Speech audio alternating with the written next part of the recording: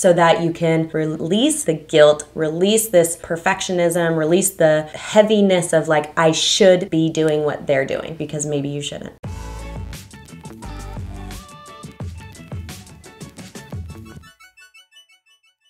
Thought that I was an action artist, but here I am. So let's dive into it. So, the visionary. A lot of people who come into architecture may identify as a visionary because they love art, they love uh, visualizing different projects, and they can see floor plans and buildings and in their mind, and that's how they have been able to create these beautiful designs. But surprisingly, the amount of people who I have worked with through this process and have taken them through this quiz is actually surprise themselves and they're not visionaries. So that's also why I really recommend doing the quiz because it unleashes this whole brand new like awakening. So if you're a visionary, you are very visual. You love to watch videos. You know, if you join me each week on Design, Create, Inspire, you're likely watching me over on YouTube rather than listening to me over on the podcast. You may be going over to the blog and looking at the pictures associated with each week's episode. You love the diagrams. So when you're taking the exams, things like Amber Book or Black Spectacles for different videos are really effective for you.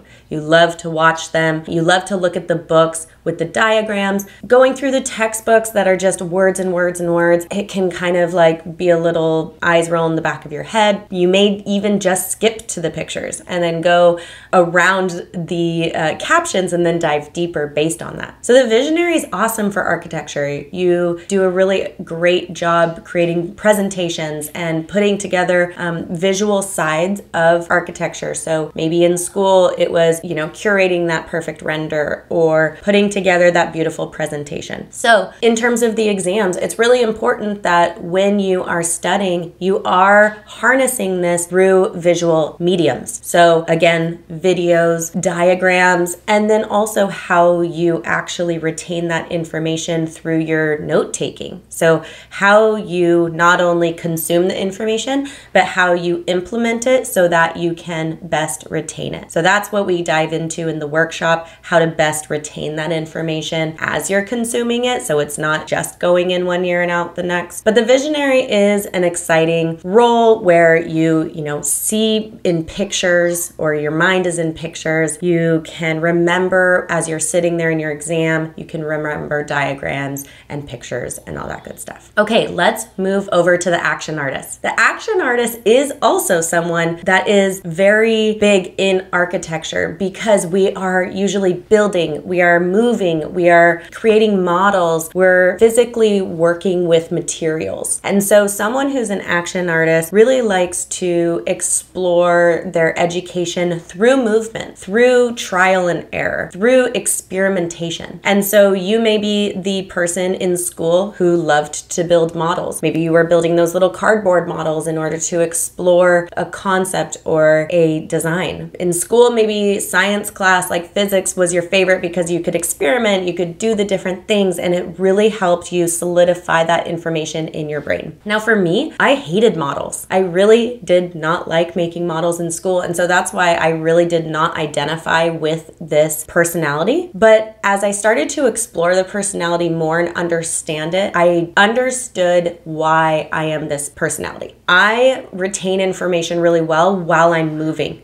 So I like to listen to a podcast and clean the house or go on a walk or uh, read a book while I'm on the treadmill. And it's that actual movement that helps my mind calm and retain the information. And so the action artist, yes, they like to experiment and move in terms of like building, but it also might just be that movement. It might be hard for you to sit down and read a book cover to cover. It might be hard for you to totally stay focused on a lecture or even a video series because your mind starts wandering or you're starting to fidget and you want to just get up and move. Now, for us action artists, sitting for a four hour exam can be brutal. It can be really difficult. And so for me, I used to break it up with that break in between. I'd go walk around, I'd move my body. I would literally do jumping jacks in the bathroom to break it up to help my mind calm down, help me tap into that information that I knew in order to continue and pass my exams. So this can be difficult with some of the new systems if you're not taking a break and all that stuff, but that is why it's so important